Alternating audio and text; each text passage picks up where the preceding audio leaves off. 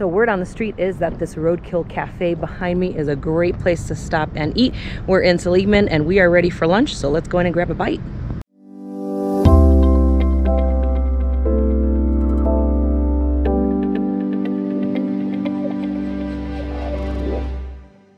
All right, so the Roadkill Cafe is a pretty fun dining adventure. Um, it also has the OK Saloon inside, which we'll talk about in just a minute. But um, this is a great place to stop along historic Route 66. They serve breakfast, lunch, and dinner, um, so it's definitely worth the stop. The food is amazing.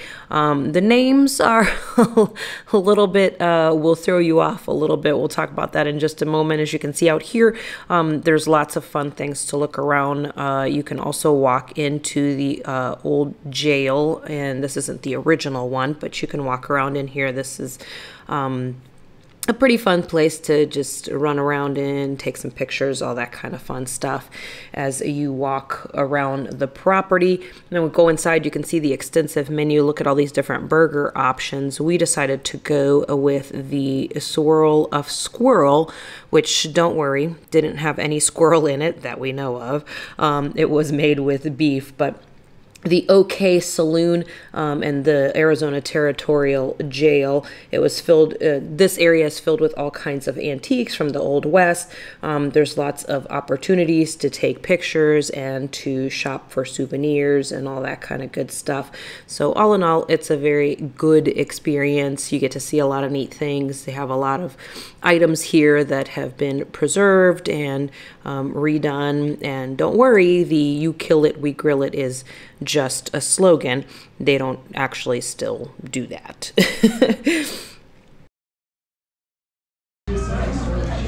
Let's take a look.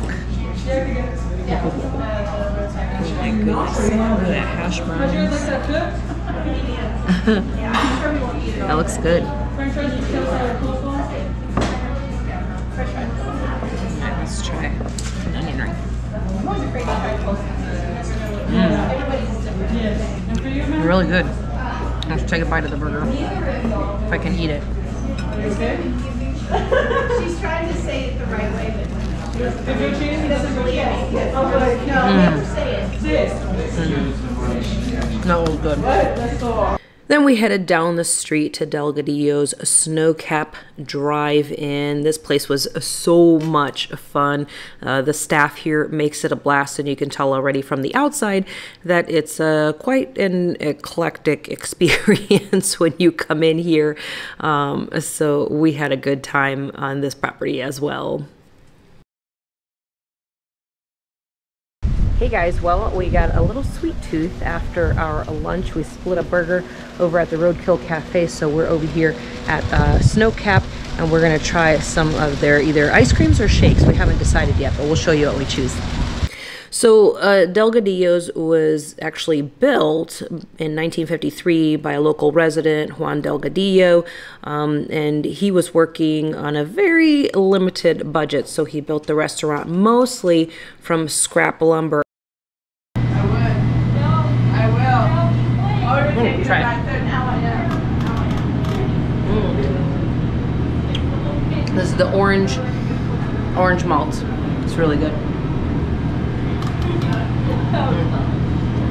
Right. Is that it for you guys? Yes.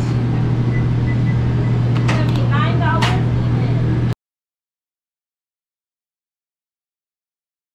Delgadillo's flair for showmanship extended to his menu, which still features such choices as cheeseburger with cheese and uh, dead chicken. so, like I said, you'll have a fun experience here. The staff is full of uh, jokes, and the food here is amazing, even though we just shared a malt and an ice cream.